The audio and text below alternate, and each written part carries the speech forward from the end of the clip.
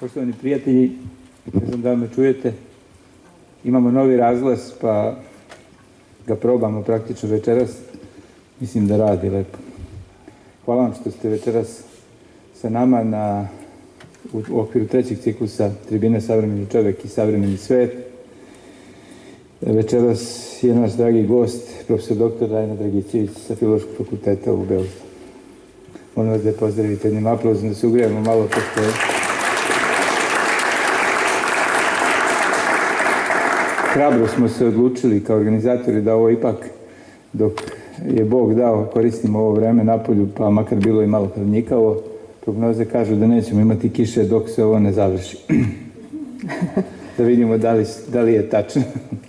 Rajna Dragićević je doktor lingvističkih nauka i redovni profesor na katedri za srpski jezik sa južnoslovenskim jezicima Filološkog fakulteta Univerziteta u Beogradu. Bavi se leksikologijom, tvorbom reči i lingvokulturologijom savremenog srpskog jezika. Rođena je u Kikindi 1968. godine. Diplomirala je 1991. na katedri za srpski jezik sa opštom lingvistikom Filološkog fakulteta u Beogradu. Magistrirala je 1993. a doktorirala 1999. na istom fakultetu. Tema njenog doktorata glasi tvorbena i semantička analiza prideva koji označavaju ljudske osobine. Autor je oko 200 radova, među kojima su četiri monografije, pridevi sa značenjem ljudskih osobina u savremenom srpskom jeziku, tvorbena i semantička analiza, leksikologija srpskog jezika, verbalna asocijacija kroz srpski jezik i kulturu, leksikologija i gramatika u školi. Leksikografski rad Rajna Dragićević obeležavaju koautorstvo u izradi četiri rečnika, asocijativni rečnik srpskog jezika, obratni asocijativni rečnik, semantičko derivacioni rečnik, rečnik srpskog jezika. Uredila je kolektivnu monografiju Savremena srpska leksikografija u teoriji i praksi. Napisala je nekoliko učbenika za srpski jezik i jezičku kulturu za osnovnu školu. Dva puta je nagrađivana nagradom Pavle Ivić. Godine 2005. sa grupom autora nagrađena nagradom Stojan Novaković za učbenički komplet za srpski jezik za četvrti razred osnovne škole. Dobitnik je Dositejeve povelje za stvaralački doprinos razvoju obrazovanja, nauke i kulture 2014. godine. Izvolite. Hvala. Ja ne znam koliko sam primetila ovim fotografijama uobičajeno je da oni koji govore sede, ali bar htela bih da ustanem bar na kratko da vas pozdravim. E, velika mi je čast što sam pozvana e, na ovu divnu tribinu. Uvažavam sve one koji su govorili pre mene, tako da mi je veliko zadovoljstvo i hvala vam što ste došli. Možda bih stajala ipak. Kao odgovor na izazovno pitanje savremenog sveta i čoveka u njemu, izneću problem koji mi je svakodnevno u fokusu interesovanja, a tiče se budućnosti i obrazovanja u savremenom svetu. O tome razmišljam kao univerzitetski profesor koji ima privilegiju da oblikuje planove i programe za svoje predmete, a zatim i da ih realizuje u nastavi, kao učesnik e, u nastojanjima da se poveća broj časova maternjeg jezika u školi i kao roditelj jednog gimnazijalca i jednog studenta. Kao roditelj u prilici sam da iz najneposrednije blizine posmatram odnos učenika prema učenju i školskom sistemu, a i da se upoznam sa sadržajem učbenika iz mnogih predmeta. Problem na koji želim da skrenem pažnju na prvi pogled spada u nevažna pragmatička pitanja organizacije nastave, a u stvari predstavlja ugaoni kamen budućnosti obrazovanja.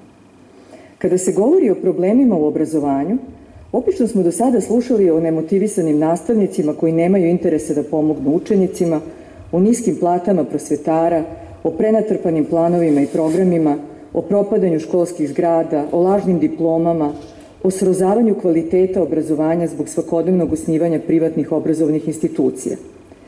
Ne želeći da umanjem značaj ni jednog od tih žarišta, htjela bih da ukažem na još jedan važan problem, a to je nezadrživo umnožavanje količine informacija u svim naukama, posebno onim u kojima se prati savremeno stanje onoga što je predmet proučavanja. 21. vek je verovatno vek izrazitijeg razvoja nauke, tehnike i tehnologije nego svi vekovi do sada. Još je davne 1988. godine e, akademika Irena Grickat iznela podatak da je 1800. godine bilo ukupno 100 specijalizovanih časopisa na celom svetu. Ja volim da ponavljam inače ovaj njen podatak. Godine 1850. bilo ih je 1000.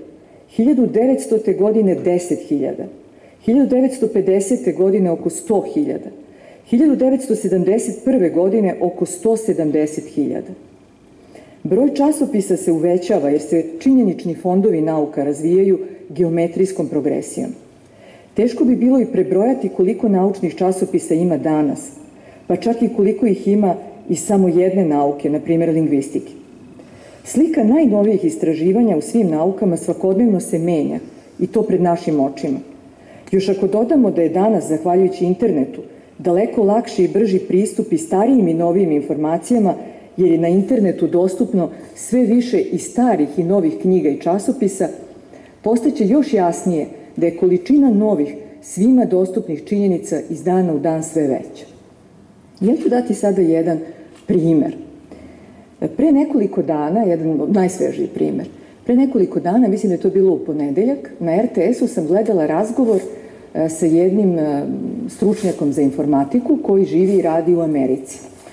On je rekao voditelju da je e, da se informatika u poslednjih godinu dana razvila više nego u prethodnih 20 godina. I rekao je da kada se, sad ja njega baš citiram, kaže nije važno šta možete danas u svetu informatike, nego koliko ste spremni da se prilagođavate promenama. To je rekao da je najvažnije za nekoga ko u ovom trenutku želi da otvori firmu iz oblasti informatike. Kaže, nije važno koliko se može danas, koliko možete danas, nego koliko ste spremni da se prilagođavate promenama. A ja ću dodati tome da mogli bismo da kažemo pa dobro, to je tako u svetu informatike. A kakve to veze ima, na primjer, sa društvenim naukama? I te kako ima to veze i sa društvenim naukama? I e, reći ću to na svom primeru, e, a to je, dakle, svet lingvistike. U poslednje vreme, poslednjih nekoliko godina, počinje da se razvija korpusna lingvistika. Kolegama lingvistima to je potpuno jasno, ali e, nekima ovde koji nisu lingvisti to nije poznato. A šta to zapravo znači za naš svet, svet lingvistike? To znači da mi danas bez mnogo problema, naravno u saradnju sa e, kolegama koji se bave informatikom, možemo lako da dođemo do nekakvih korpusa i da pratimo šta se dešava sa nekim rečima, sa nekim gramatičkim oblicima, sa bilo čim što nas u jeziku interesuje, šta je bilo prošle godine u odnosu na to šta se ove godine dešava. Naprimer, mene je interesovalo šta se dešava sa nekim prefiksoidima u srpskom jeziku i kolega informatičar je bez mnogo truda prikupio sve brojeve politike iz 2005. godine i svih brojeva politike, znači svakodnevnog svih brojeva politike, izvukao mi je sve reči sa recimo mega, koje počinju sa mega. Iz 2015. godine sve reči koje počinju sa mega. I ja sam mogla da pratim šta se dešava sa tim rečima koje na taj način počinju e, u ovom trenutku, kako se menja ta slika, šta se dešava na tom planu. Ali nismo mi, lingvisti, danas e, sposobni samo da pratimo ono što, se, što je najnovije u našoj nauci i što je najnovije u jeziku, zahvaljujući razvoju informacijonih tehnologija. Mi, zahvaljujući njima, možemo da posmatramo i ono što se dešavalo u prošlosti. Evo još jednog primjera. Mene je jako zainteresovao pre nekoliko godina jedan rečnik e, koji se zove Rečnik Mali, koji je objavljen 1793. godine u Beču. E, to je nemačko-slaveno-srpski rečnik. E, zove se Rečnik Mali zbog toga što ima samo hiljadu i po nemačkih reči i te reči su prevedene na slaveno-srpski. A mene je interesovalo, pošto je taj rečnik koji je objavljen 1793. godine, imao skoro deset izdanja, interesovalo me zbog čega je srpski narod koji je došao na ovu teritoriju tako intenzivno želeo da ima taj reči. Pomislila sam, on se sigurno sastoji iz nekih reči koje su veoma važne. To nisu bilo kakve reči, to su neke važne reči i zato je taj rečnik imao tako mnogo izdanja u ono vreme kada su mnogi naši sunarodnici bili nepismeni i kada su knjige bile skupe. Otišla sam u biblioteku moje katedre, tražila sam taj rečnik mali i nisam se mnogo iznenadila kada je bibliotekarka rekla da taj rečnik mi nemam, ali da taj rečnik postoji u digitalnom obliku i da ga ima ova biblioteka, biblioteka Matice Srpske.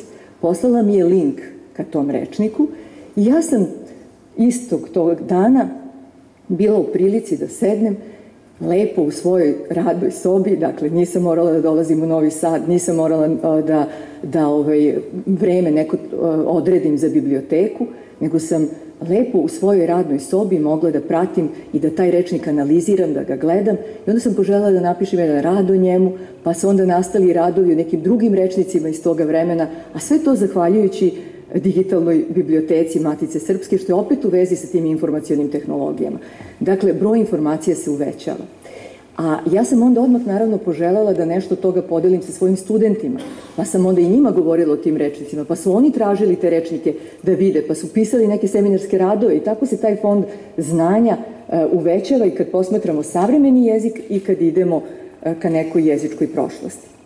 Dužnost univerzitetskog profesora jeste da predstavi svojim studentima najnovije tendencije u nauci koju predaje, a dužnost mu je i da ukaže na osnove, početne tačke nauke koju predaje, pa i da predstavi put od početaka razvoja do onoga dokle se danas stiglo. Ništa se ne može zanemariti.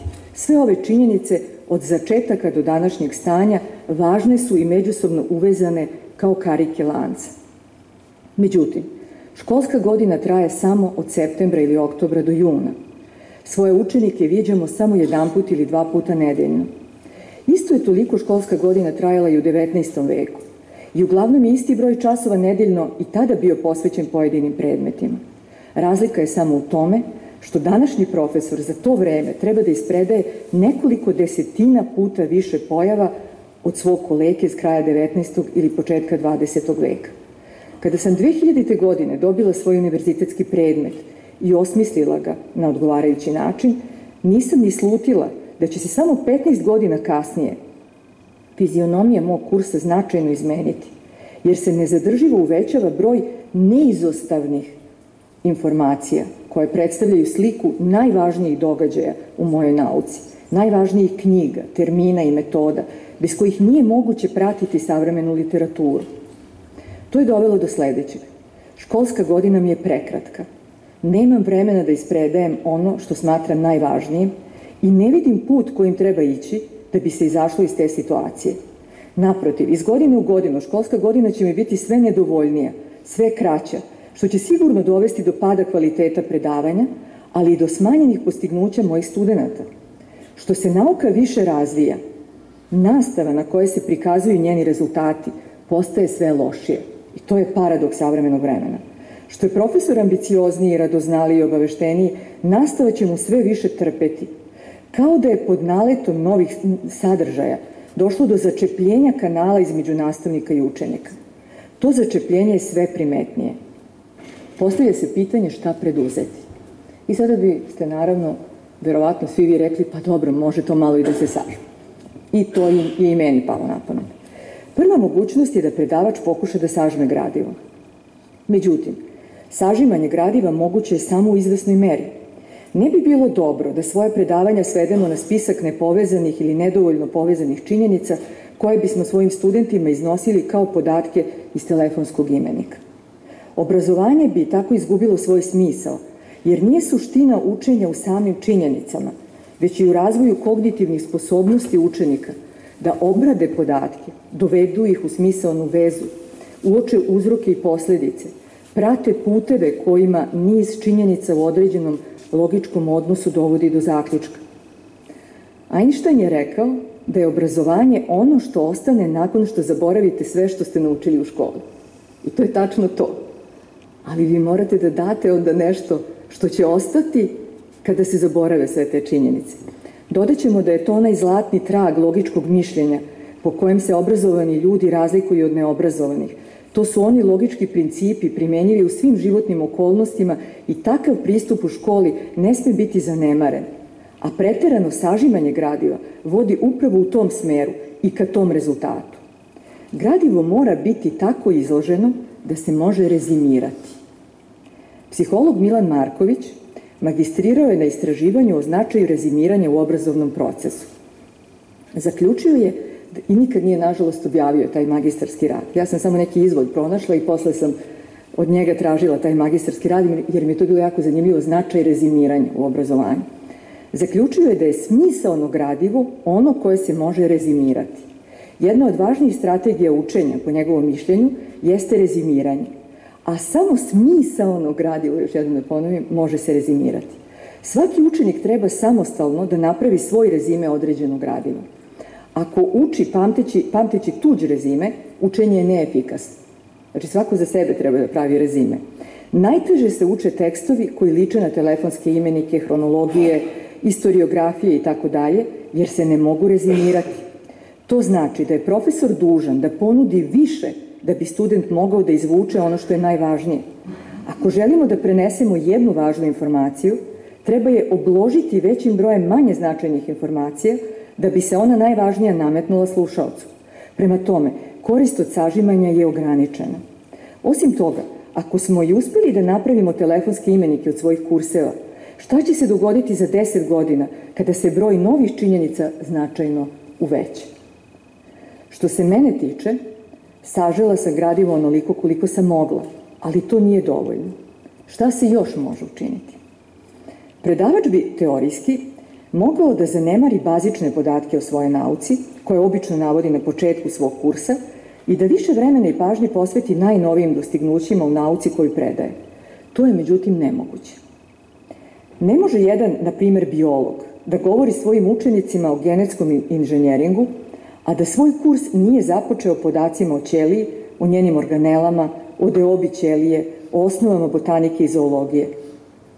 Sve ono što je dobio učenik u 19. veku, mora dobiti učenik u 21. veku.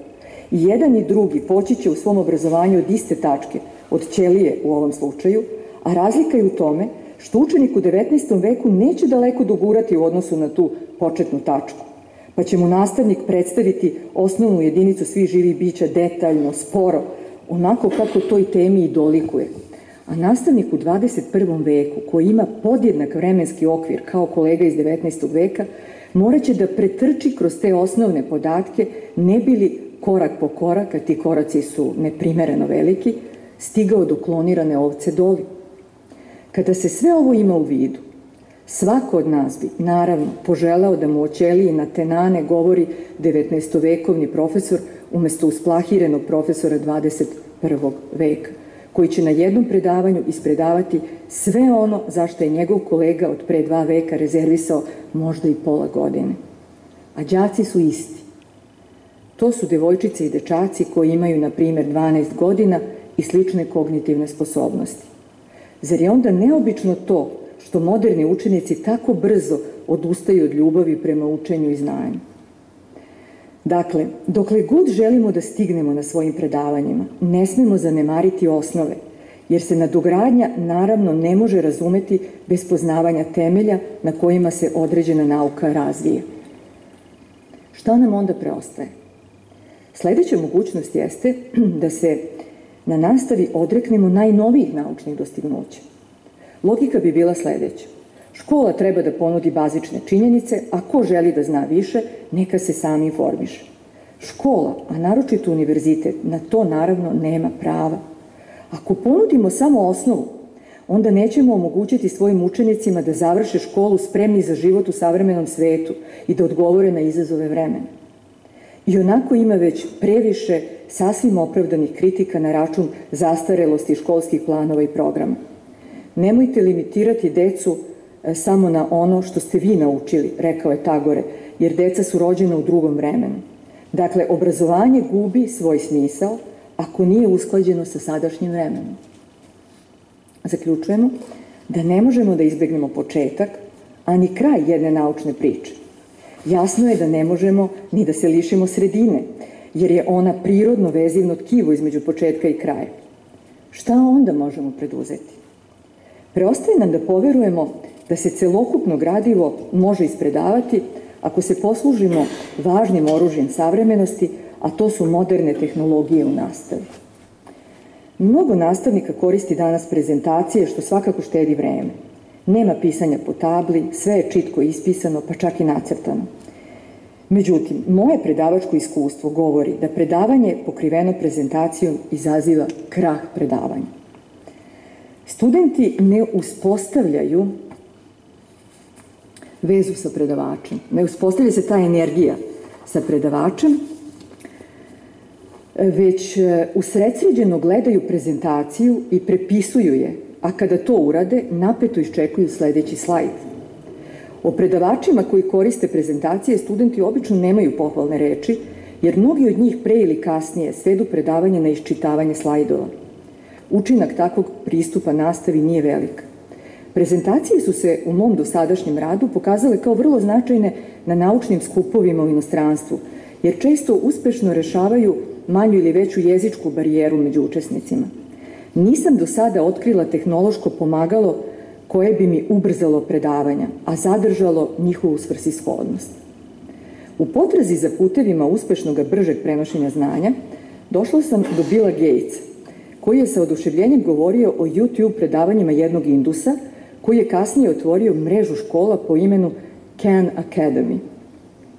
Proslavio se kratkim, obično 15-minutnim predavanjima iz različitih nauka koje objavljuje na YouTube-u na engleskom jeziku. Pogledala sam nekoliko njegovih predavanja. Pred, gledal, pred gledalocima je tabla, on čuje kanov glas i gleda kako se po tabli ispisuju brojke i slova, kako se podlači ili zaokružuje ono što je važno. Pred očima gledalaca na tabli se rađaju i ređaju sadržaji, ali to je obična tabla i konvencionalni pristup. Zbog toga je i uspešan, to je moj komentar. Koliko god se to nekome činilo e, nazadnim, najbolje predavanje je ono koje pred običnom tablom održi dobar predavač sa kredom u ruci. Kada se učenicima postavi pitanje šta zameraju savremenoj školi, e, i oni s pravom primećuju ogroman broj informacija koje ne mogu da savladaju. Misle da ne treba da uče činjenice koje su danas svima dostupne na internetu i to vrlo često e, odgovaraju. Ako na ovakvim razmišljanjima organizujemo školski život, nastavnik bi bio nekakav vodič koji sprovodi učenike kroz e, zamršene ulice interneta i na časovima im isporučuje internet adrese pouzdanih sajtova da bi učenici lako dolazili do informacija koje ih zanimaju. Ako budemo tretirali e, nastavnika kao internet vodiča ili saobraćajca, obesmislit ćemo ulogu škole, jer suština učenja nije samo u podacima, ponovit ću još jednom, već u njihovom ukrštanju, povezivanju i obradi, što dovodi do savladavanja konkretnog gradiva, ali i do unapređivanja intelektualnih i kognitivnih sposobnosti učenika. Znači, nisu u pravu oni koji kažu da informacije treba tražiti na internetu, a zadatak škole je da nauči učenika da misli. To mnogi kažu. E, to bi bilo isto kao kada bismo očekivali da kuvar nauči da kuva bez upotrebe namirnica, e, tako što će e, naučiti principe kuvanja ili kao kada bismo stolara učili da pravi sto bez dasaka. Dakle, ne može ni bez jednog ni bez drugog. Informacije su važne, ali je važno i to kako se te informacije povezuju i uvezuju. Sa žaljenjem moram da zaključim da ne vidim način da se postojeće stanje popravi. Imajmo u vidu da se ogroman priliv novih informacija dešava u skoro svim naukama. Nije problem samo u tome što se uvećava fond znanja u okviru posebnih nauka, već i u tome što nastaju nove nauke od kojih neke pod hitno moraju biti uvedene u školski sistem i to u vidu novih predmeta, kako bi se škola što više uklopila u potrebe savremenog sveta. Ako uvedemo nove predmete, evo informatika je sada recimo uvedena, imaćemo još manje vremena za dosadašnje predmete. A oni, kao što smo videli, traže još vremena, ovi stari koji već postoje. A za to vreme školska godina i dalje traje od septembra do juna i učenici i studenti su i dalje e, po 6 sati ili 7 sati u školi. Vreme se ne može rastezati, a neophodno nam je. Iz godine u godinu prognoziram da će nam biti potrebno sve više i više vremena kojeg naravno nema. Kako se učenici i studenti osjećaju u takvom sistemu bremenitom novim sadržajima? U toku jednog školskog časa čuju previše podataka koje ne mogu da savladaju. Umesto da na sledećem času obnavljaju ono što su na prošlom naučili, po, budu, po pravilu budu zasuti novom količinom informacija. I tako iz časa čas od predmeta do predmeta. Kad nema vremena da ispredaje sve što je potrebno, nastavnik zadaje učenicima da sami uče, iako su svesni činjenice da je uloga škole u tome da ponudi kvalitetnu nastavu, a ne samo domaće zadatke učenicima. Kada o tome razmišljam, u glavi mi oživi slika Rakićevog dolapa koji okreće mali crni vranac, malak sa odavno od teškoga truda, vuče bednu kljuse, sipljivo i hromo, bič ga bije, ular steže, žulji ruda. U sličnom su stanju i današnji učenici po teretom informacija. Sve manje onih koji sa zanosom završavaju školu, a sve više veoma pametnih učenika koji započnu svoje školovanje s puno entuzijazma, a zatim se u gimnaziji ili na fakultetu umore. Jednostavno izgube bitku sa školskim sistemom. Nisu spremni da mehanički uče ogroman broj činjenica. Ne vide smisa u tome da ih samo reprodukuju i to sve češće putem testa, što predstavlja vrhunac otuđenosti nastavnika i učenika. Teško im je da sami uče ono što nastavnik treba da im objasni, da sami vežbaju ono što je u školi trebalo da se provežba. Nemaju volje da bubaju. Da li ovaj problem može da se reši? Ne vidim rešenja. Naprotiv, pro prognoziram potpuni kolaps obrazovnog sistema na globalnom nivou. Ovo se deluje baš onako strašno, ali meni se čini da je tako i neko će reći pa dobro tako je izgledalo i pre 30 godina, ali nije ovo isto vreme. Ja ću još jedan put ponoviti reči onog informatičara koji je rekao da je za godinu dana, za poslednjih godinu dana a, a, više nauka napredovala nego za prethodnih 20 godina. I to u skoroj budućnosti. Neverovatan je taj paradoks koji se dešava pred našim očima. Nauka se ubrzano razvija, a što se brže razvija, sve će brže izazvati kolaps, kolaps obrazovnog sistema, a zatim možda i sebe same, jer je preduslov naučnog razvoja obrazovanje budućeg naučnog kadra. Pokušala sam da otkrijem da li se neko bavi ovim problemom i kakva se rešenja nude. Kako sačuvati školski sistem i kako će izgledati budućnost obrazovanja do koje će gotovo sam sigurna doći brže nego što mislimo. Još davne 1988. godine profesor pedagogije na Filozofskom fakultetu u Beogradu Nikola Potkonjak govorio je o krizi škole. I on je o tome dakle govorio još 1988. kada je situacija bila mnogo blaža nego danas. Ali i o nekim pokazateljima koji svedoče o tome da je škola e, s uspehom kroz istoriju prevladavala krize u koje je povremeno zapadala. I to mi daje neku nadu. To što on kaže da je škola ipak prevazilazila te krize. On je još tada predložio ono o čemu ja razmišljam, ali u to ne verujem, a to je e, deinstitucionalizacija obrazovanja, što ne znači ukidanje školskog sistema, već njegovo dopunjavanje van školskim obrazovanjem. Evo šta je on rekao. Bez obzira na to kako i kada je došlo do monopola škole u obrazovanju i vaspitanju, a često je takav monopol i sama škola sebi prisvajala, Danas je sasvim očigledno da takav monopol škole ne može da se više održi. Čak i kada bi to bilo moguće, bilo bi to štetno i po društvu i po njegove članove. To je, dakle, profesor Potkonjak rekao još 88. godine. Obrazovnom sistemu treba pomoć, jer posustaje, dakle, pod težinom duha vremena, a tu pomoć je moguće pronaći zaista možda u neformalnom obrazovanju. Nikola Potkonjak ukazuje na činjenicu da škola treba da se odrekne iluzije o konačnosti obrazovanja koje daje i da jedan od zadataka, razume se ne jedini, treba da joj bude osposobljavanje pojedinaca za dalje samostalno učenje, samoobrazovanje, za učenje učenju. Profesor Potkonjak se još 1988. godine, dakle još pre 30 godina, zalaže za doživotno učenje.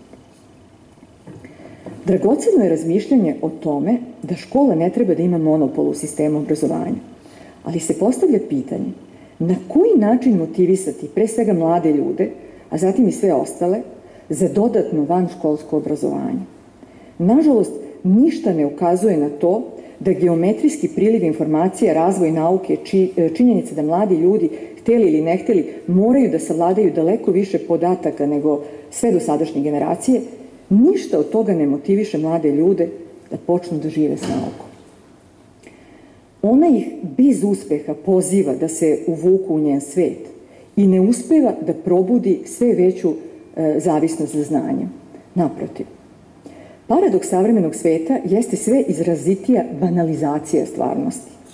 U svetu u kojem beležimo izraziti progres nauke, omladina, koja je glavni konzument naučnih e, novina, ne intelektualizuje se, već se naprotiv svim očekivanjima banalizuje, zaglupljuje i kokakolizuje. To sam pročitala u nekom radu profesora Pipera, kokakolizovati se. Pokazatelj tih procesa jesu pojave koje poslednjih godina privlače pažnju građana na globalnom nivou, a koje se očituju kroz izbor za takozvane reči godine.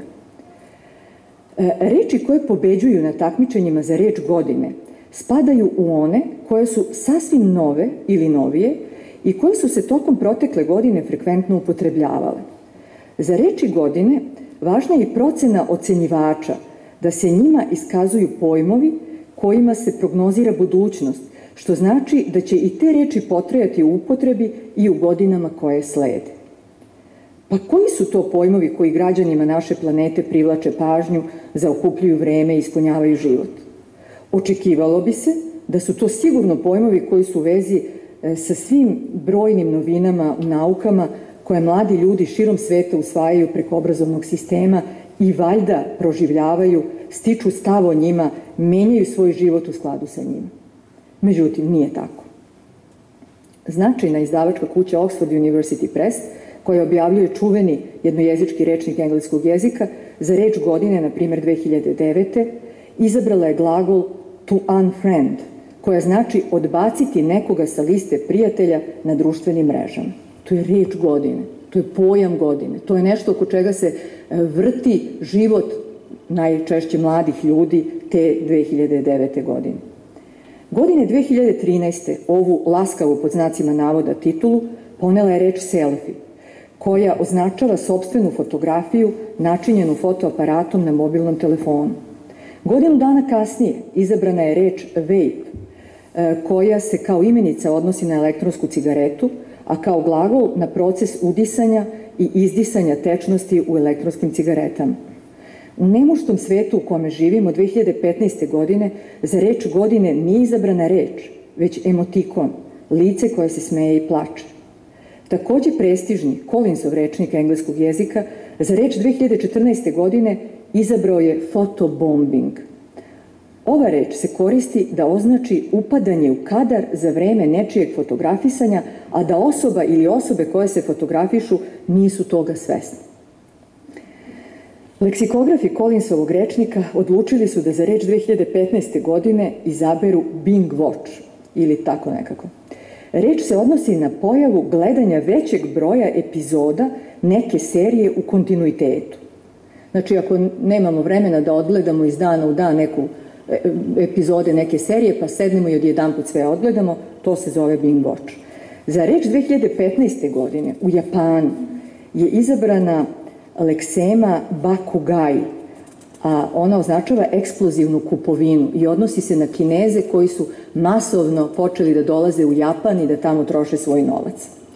Ovi podaci ukazuju na činjenicu da u 21. veku život mladih ljudi širom sveta ne ispunjava ono što su naučili u školi, već eksplozivna kupovina, samo reklamiranje i samo promovisanje, fotografisanje, druženje na društvenim mrežama, gledanje serija i tako dalje. Izrazito uvećanje kvantiteta novih pojmova u svim naukama nije izazvalo uvećanje interesovanja za nauku i kulturu kod građana. Naprotiv, mladi ljudi izmučeni napornim učenjem nabijenog školskog gradiva beže u jeftinu zabavu i potrošačku kulturu. Svi smo svedoci činjenice o izuzetno niskom nivou njihove jezičke kulture, o nesposobnosti da se izražavaju, što ugrožava učenje svih školskih predmeta. Zbog toga se grupa entuzijasta, srbista po obrazovanju, bore za povećanje broja časova srpskog jezika u školi. Bilo bi veoma važno obezbediti vremenski prostor u školi za unapređivanje pismenosti naše dece, ali i sposobnosti čitanja. Treba da im pomognemo da nauče da čitaju bilo koji tekst. Dakle, bilo koji tekst. Od učbeničkog preko novinskog do književno-umetničkog. Prosečno dete 21. veka apsolutno ne razume zbog čega Tolstoj tako detaljno opisuje haljinu Ane Karenjine koju je nosila na balu kada je prvi put plesala sa Vronskim. Književnost im je prespora i dosadna. Treba im pomoći da joj se približe. I to je nesumnjivo. broj časova srpskog jezika u školi treba duplirati. I dok se mi s pravom borimo da intenziviramo nastavu srpskog jezika, nadležna obrazovna tela Republike Srbije uvode obaveznu nastavu informatike, takođe s pravom. Dakle, uopšte ne kritikujem tu odluku. Da bi to postigli, imaju samo jedno rešenje, da smanje broj časova srpskog jezika i matematike. I nedavno je bila borba za to da zadrže postojeći fond časova, a mi onda hoćemo još časova srpskog jezika i potpuno smo u pravu, jer to je takođe potrebno. I tako se vrtimo u krug. I dok se pritiskaju sa svih strana ovakvim predlozima, učenici su sve nemotiva, nemotivisaniji i sve zainteresovaniji za isprazne sadržaje koje im nude mobilni telefoni. Kako ih motivisati da nakon povratka sa fakulteta ili škole ponovo nešto uče? Kako ih zainteresovati za sve ono što nećemo moći da im ispredajemo u školi, a sačinjava neizostavni deo nauke danas? I da li je uopšte budućnost obrazovanja u njegovoj deinstitucionalizaciji i ukidanju monopola škole, kako je još pre 30 godina primetio profesor Potkonjak? U potrazi za odgovorom na ovo pitanje upisala sam u Google na ruskom i engleskom e, jeziku budućnost obrazovanja. Buduće obrazovanja i future of education. Da bih videla šta velike sile, nosioci svetskih promena, imaju da kažu o tome. Kao rezultat potrage dobila sam veliki broj linkova na oba jezika ka jednom dokumentu, to možete i sami da proverite ako upišete budućnost obrazovanja na engleskom ili na ruskom jeziku. A taj dokument se zove Budućnost obrazovanja globalna agenda. U pitanju je tekst strategije globalnog obrazovanja od 2015. do 2035. godine, u čijem sastavljanju je učestvovalo 2000 stručnjaka iz Evrope, Azije, Rusije, Amerike, Kanade. Da bih pokazala da su sastavljači dokumenta kompetentni stručnjaci, jer uskoro ćete pomisliti da je ovo naučna fantastika o čemu ću ja sad govoriti, reći ću da su u sastavljanju strategije budućeg obrazovanja u ime Rusije učestvovali Aleksej Sitnikov, zamenik predsednika Skolkovo, to je neki moskovski naučno-tehnološki inovacioni kompleks za razvoj i komercijalizaciju novih tehnologija, Isak Frumin, naučni rukovodilac instituta za obrazovanje na nekom univerzitetu i tako sad da ne čitam. Dakle, ljudi koji zaista rade na tim pozicijama i koji su ugledni i bave se pitanjima obrazovanja. I tako se to odnosi na sve ostale zemlje. Taj dokument ima nešto više od 200 stranica i izazvao je ogromno interesovanje javnosti, ali moram da kažem užas javnosti. Od mnoštva informacija iznesenih u ovom dokumentu izdvojit ću neke. Ispostavilo se da i ovi stručnjaci predviđaju da će u skoroj budućnosti doći do radikalne e, izmene u sistemu obrazovanja. U tekstu strategije oni prognoziraju razvoj obrazovanja do 2035. godine, kao što rekla. Predviđa se ukidanje granica između škole i društva, što znači da nas po ovom dokumentu zaista očekuje deinstitucionalizacija obrazovanja. Doći će do, citiram, radikalnog sloma nacionalnih sistema obrazovanja. Obrazovne institucije imaće, kako oni kažu, gipku arhitekturu, prilagodljivu i sklonu promenama. Nauka će se pragmatizovati i jedna od njenih važnih obeležja biće interdisciplinarnost. Razvijaće se doživotno učenje. Ideja je da svaki pojedinac pored obaveznog obrazovanja u školi, može da stekne dodatno neformalno obrazovanje kroz individualne, porodične, grupne i tako dalje online kurseve. Inače, i to je počelo da se razvija. Ja već imam prijatelja koji drži online kurs engleskog jezika e, kinezima neki. To je već počelo da funkcioniše. Meni još uvijek nije jasno kako to sve izgleda, ali očigledno da već takve stvari postoje. Svako će moći da napravi sobstvenu kombinaciju odgovarajućih kurseva, to jest sobstvenu, kako se to zove, trajektoriju, pa će svako od nas biti obrazovan na različit način. Postojaće, ovaj, tako oni kažu, pijace obrazovanja na kojima ćemo birati kurseve koji nam odgovaraju.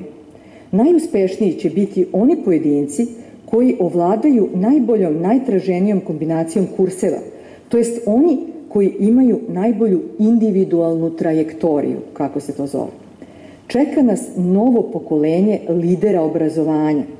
To će biti stručnjaci koji grade individualne trajektorije pojedinaca u zavisnosti od sklonosti i sposobnosti pojedinaca i vrste znanja koje će se tražiti na tržištu. Postojeće, sad ja opet citiram te nove termine, brendirane trajektorije i one koje su manje prestižne. Pred nama je, kako kažu, epoha totalne igre, jer sad te mlade ljude treba nekako zainteresovati, pa će se sve to raditi preko nekakvih igrica. A samim tim i gamifikacija obrazovanja, to je takođe, to su sve termini iz tog dokumenta. Na ceni će biti igropedagozi. Učit ćemo pomoću trenažera i simulatora. Rešavat ćemo zadatke igre i projekata. Živi učitelji će se povući pred takozvanim virtuelnim tutorima. Tako se zovu budući učitelji, virtuelni tutori. Celoživotno učenje tražit će posebnu kognitivnu spremu, pa će se razvijati psihofarmakologija, koja će proizvoditi preparate koji uvećavaju sposobnost rada nervnog sistema bez pobočnih efekata. Razvit će se sistemi biomonitoringa, koji će opisivati bio, e, medici, biomed psihoprofil učenika, tako, tako tamo stoji. U zavisnosti od rezultata biomonitoringa birat ćemo kurseve koji nam odgovaraju, a neke odlike mišljenja i pamćenja moći ćemo da unapredimo pomoću neuroplanata i neuroproteza. Razvijaće se sistem fitnesa za mozak, kojima ćemo menjati kognitivne navike. Nova zanimanje biće već pomenuti e, igropedagozi, zatim eksperti za mind fitness, dizajneri obrazovnih trajektorija i tako dalje. Ono što iz današnje perspektive spada u naučnu fantastiku jeste razvoj takozvanih kognitivnih tehnologija koje će usloviti nastanak neuroneta. E, biće to složen sistem koji, e, čiji je recimo jedan od ciljeva ne odnosi se samo na, na razvijanje mišljenja, nego na čipovanje mozgova koje omoguću, omogućava da se recimo stimuliše e, kod slepih ljudi centar koji će im povratiti vid ili kod gluvih ljudi centar za sluh, e, a onda tek i ove druge ove, sposobnosti psihičke. I u tom dokumentu piše, pored podele za i protiv društvenih mreža kako se danas delimo, e, delit ćemo se i na one koji su za i protiv čipovanja mozgova i da će to vrlo uskoro doći. Ja naravno sve ovo ne verujem i meni ovo izgleda potpuno neprihvatljivo. Prosto ne mogu da to prihvatim. Međutim, da neuronet zaista dolazi, ima pokazatelja. Pošto sam upisala opet u Google neuronet i došla do ovog podatka, na Američkom univerzitetu u Tenesiju već postoji naučni centar za neuronet. Dakle, na, na tom univerzitetu ne, e, u Tenesiju. E, u ruskim novinama izvestija u avgustu ove godine objavljen je tekst Pokoljenje C, to su uh, mladi ljudi, zovu ih uh, generacija Z ili generacija C, oni koji sada završavaju srednju školu. U tekstu se govori o maturantima i njihovim vrednostima, dakle šta oni smatraju za važne stvari. Naglašava se da je današnji maturant digitalno pismen čovek, njemu je stalo da sve bude brzo, brz servis, brzo dostavljanje, on e, ceni višestruki izvor informacija, a prestižna zanimanja su u vezi sa novim IT-em, s novim IT poslovima, a to je, eksplicitno se navodi, neuronet, a zatim i biotehnologija, genetika, energetika, robotehnika. Dakle, i Rusi i Amerikanci već govore o tom neuronetu. Ova potresna slika budućnosti obrazovanja verovatno nije precizna u svim segmentima. Poželimo da je tako. Ipak, jasno je da nas čeka individualizacija obrazovanja koje se stiče unapređivanjem neformalnog obrazovanja. U novom svetu bolje će se snaći oni koji mogu da pamte više i koji ne pristaju na slobodne popodneva i večeri. Čeka nas potpuna dehumanizacija obrazovnog sistema. Neće više biti važna ona pokretačka energija između učitelja i učenika za čijim uspostavljanjem žude i jedni i drugi i koja i jednima i drugima ponekad ostaje zauvek u sećanju, pokrećući ih i dajući smisao njihovim životima. Ne može se precizno odrediti put kojim ćemo ići dalje, jer obrazovanje nikada nije doživelo suštinsku reformu. Sve ostale oblasti ljudskog delovanja menjale su se manje ili više. Samo je obrazovanje kroz vekove zadržalo istu formu. Škola i učionica, tabla i kreda, učitelji i učenici, knjige i sveske. Vreme će pokazati da li je obrazovanje uopšte moguće ako se izmesti iz te tradicionalne matrice. Hvala na pažnju.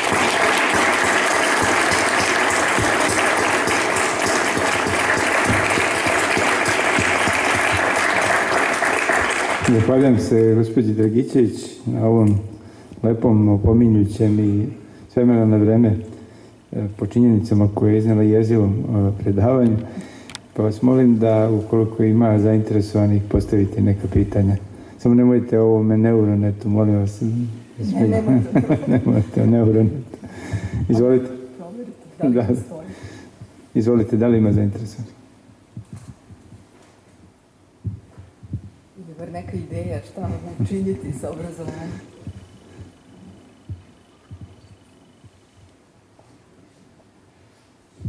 Evo imamo ovde jedno pitanje. Hvala vam na tako lepom ovaj, izlaganju, ali ovaj, ja sam slučajno hemičar i toksikolog, tako da dolazim iz druge sfere sveta. A, isto tako mislim da u kapitalizmu postoji a, učenje klasa, znači to što vi pročitate, što ste vi pročitali, ja recimo imam jednu viziju da je to ovaj, a, za široke narodne mase jedna, jedno globalno učenje većine. A ipak će male grupe dovoljno bogatih moći da plate individualne škole u nekom klasičnom smislu, koje apsolutno na internetu niko neće ni spominjati više, jer su one za one koji sada igraju igrice, gledaju e, raznorazne serijice i tako dalje, nezamislive. Isto tako uh, Atlantida kao i nama što ovo izgleda čudno. I da i, i u Americi uh, jedno normalno školovanje na dobrim univerzitetima košta bogatstvo. Do juče su studenti američki uh, dve godine radili pa jednu godinu studirali. Danas to mogu da plate nekakvim uh, derivatima uh, raznorazni, u, u ekonomiji govorim, nekim imaginarnim novcem i et cetera, et cetera, zarađenim ko zna kako. Tako da, ja mislim da će pored ovog učenja postojati ono klasično, kao i danas što postoje engleske klasične škole, kao što postoje privatne škole, slučajno jednom je dete išlo u normalnu školu u Beču, a drugo u privatnu. I ja tačno znam koja je razlika između načina učenja, prezentacije, e, odnosa učitelja prema, e, prema deci, prema učenicima. U privatnoj školi su profesori plaćeni da vaše dete nauči maksimalno, bez obzira koliko je ono vredno, inteligentno, koliko taj učenik ima sposobnosti. Dok u državnoj školi, koja je dobra, dozvolite, to je gimnazija, 12% učenika ide u Austriji, recimo, uh, u, u školu s maturom, od toga će možda polovina uh, tek studirati. Generacija 68. Namerno sam rekla tu godinu. 43% mladih ljudi je studiralo u Nemačkoj. Danas je to desetina, 10% i do 12, 15. Tako da, ovaj, jako dugo smo mi već u tom procesu i ima jedan mali sloj onih bogatih, imućnih, sposobnih, koji mogu da školuju svoju decu klasično. Onako kako ste vi navikli da jedno obrazovanje izgleda. To je moje mišljenje, moj doživljaj te stvarnosti. Živim paralelno u dve zemlje. E, Čak mi se mnogo više dopadaju neke stvari u Srbiji nego recimo u Austriji. Verujte mi. Da, da, da. Jer recimo e, izbeglice idu u školu, omogućeno im je nastava na 3-4 jezika, e, e, korišćenje maternjeg jezika e, stranoj deci e, u obrazovanju, pogotovo u osnovnoj školi, razvijanje njihovog postojećeg karaktera, da tako kažem, e, i promena na neki drugi maternji jezik ili jezik odrastanja je sasvim postepen u tom slučaju. On ne mora da izgubi deo svog identiteta. Zahvaljujem. E, Molim. Ovo više e, vidim kao prilog diskusije nego kao pitanje, ali da li ima potrebe da komentarišete? Pa, e, mogu samo da kažem da e, i ovi novi koncepti do kojih se, ja nadam se, neće doći, e, podrazumevaju, ne podrazumevaju ukidanje klasičnog obrazovanja, nego da samo klasično obrazovanje neće biti dovoljno, nego će biti još nekih dodataka. Dakle, očekuje se to da će to klasično obrazovanje ostati, ali da neće biti dovoljno. Zahvaljujem. E, Željko Učković, izvolite, profesor. Pa mislim da je predavanje utoliko dobro kada se sa njim i ne složimo, a ne samo kada se složimo, pa se ja malo neću složiti ako dopustite. Naravno. Upravo sa idejom da sve ovo što ste vi izneli zapravo po meni je pre razlog za veliki optimizam, a ne za pesimizam koji je provejavao kao vaš verovatni zaključak. Dakle, digitalizacija, uvođenje novih medija i obrazovnih tehnologija je nešto što nudi neverovatne mogućnosti ljudima u obrazovanju, u povezivanju, u izgradnji nove društvenosti i kao što bi Nikos Negropont rekao, digitalizacija je zapravo tehnologija slobode. Drugo je pitanje zašto se i kako se ona koristi u manipulativne svrhe i zašto mi kada kažemo mediji zapravo mislimo samo na manipulaciju, a ne, a ne na neverovatne mogućnosti koje nam je nova medijska tehnologija dozvolila da, da, da kažem, napredujemo u obrazovanju. Ovdje smo u biblioteci Matice Srpske. Znate kolika je razlika između one biblioteke od pre 20 i nešto godina i sada baza podataka gdje možete vidjeti sve raritete, čitati ih od svoje kuće, pregledati, izučavati, istraživati. Ogromna je, beskonačna je mogućnost novih medijskih tehnologija. Na mom fakultetu smo uveli čak i smer koji se zove dizajner medija u obrazovanju, pokušavamo to da uradimo, ali kažem, ipak, da, da ne dužim, jako je ovaj, zanimljiva tema, ali mi pripadamo prošlom milenijumu. Ostavimo mladoj generaciji, ostavimo novoj generaciji šansu da ona ovu digitalnu tehnologiju koristi na vlastitu dobrobit. Hvala. Hvala, Željko. Izvolite. Pa ja bih se potpuno složila s vama, čak sam o tome baš i govorila, o, tom, o, o tome ka- kako je dobro to sve što se dešava, posebno ta digitalizacija i da to pruža onda, i baš sam na svom primjeru govorila o tome, kako sam ušla u svet knjiga iz 18. veka, rečnika iz 18. veka, zahvaljujući upravo ovoj biblioteci, digitalnoj biblioteci Matice Srpske, E, tako da ja ne sporim to, nego upravo me je ta biblioteka uvela opet u jedan novi fond da mi je, i zbog toga mi je između ostalog skraćen, e, skraćena školska godina, jer kažem sve više onoga što znamo, a, školska godina i dalje traje podjednako. A, slažem se s vama da možda će ove nove generacije pronaći e, i rešenja kuda treba obrazovanje da ide i kako da se obrazovanje uklopi u skladu sa ovim što se do sada što se sada dešava. Tako da mislim da ste verovatno u pravu. Da. Imamo li još pitanja? Ako nema, ja bih se zahvalio profesorki Dragićević i e, da vam kažem da iduće četvrtka nećemo imati tribinu, a da nastavljamo 21. septembra. Hvala.